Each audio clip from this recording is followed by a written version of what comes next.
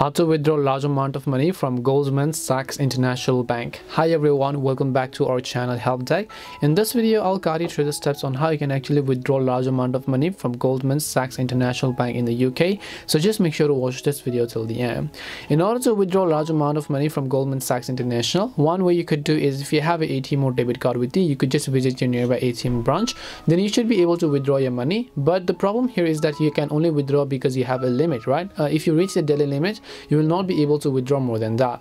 So the one thing you can do to remove this is to simply contact the customer care. So in order to contact the customer care just open up your browser. Once you open up your browser you can just type in goldman sachs international uk number and then you'll see their official uk number pop up over here and then you should be able to simply contact them via this number and ask them to have them remove the limit for you.